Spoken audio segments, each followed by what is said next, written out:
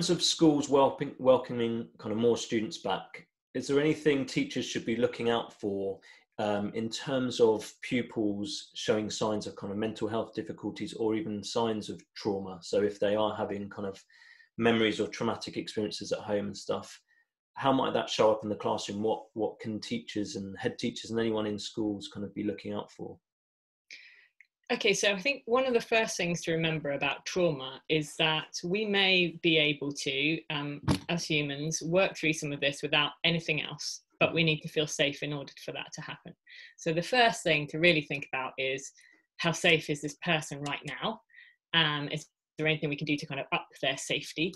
And allowing then a little bit of time to see whether when they're safe, things start to resolve. So I'm imagining that when people return to school, it's going to be a bit messy for a while uh, because you know there's going to have been lots of different experiences of what people will have been doing including how they've been learning and how able they are to sit down and be in a mm. classroom again and how safe they feel and all those other things so i suppose for the first little bit it will be very much about just going back to safety first and settling everyone back in and then i think after a period of time if there are still, and I will talk about some of the things that you might notice, but if there are still problems, then that's when we maybe need to start kind of um, getting a bit more concerned and thinking about what we might do for those young people. But I think initially it's holding on to, I suppose, what psychologists might call watchful waiting, mm. which is like, right, let's get everyone back, let's get everyone safe, and then let's see how we're doing then.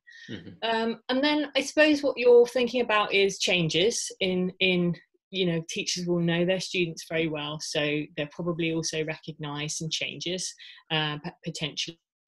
And um, that can be changes in how they kind of manage themselves. Perhaps they may be quieter than they were before. Perhaps they're going to be noisier than they were before.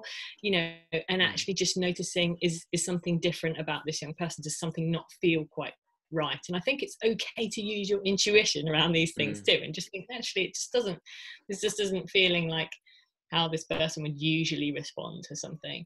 Um, and then I suppose you're looking for kind of more obvious things like uh, perhaps being a bit more hyper vigilant, finding it hard to concentrate, um, you know, having memory retrieval problems, so not being able to bring to mind information that was just maybe presented, um, in and not just one-offs, but mm. regularly. I mean, obviously, we'll all have times where maybe we'll daydream or we won't be listening to what was being said.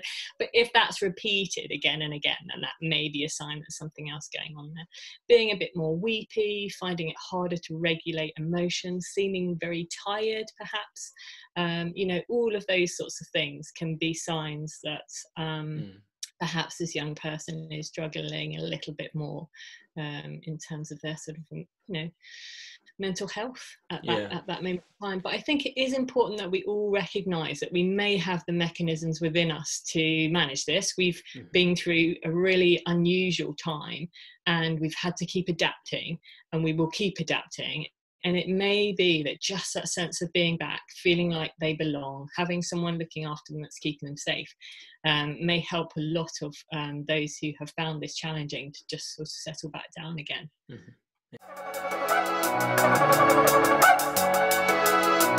They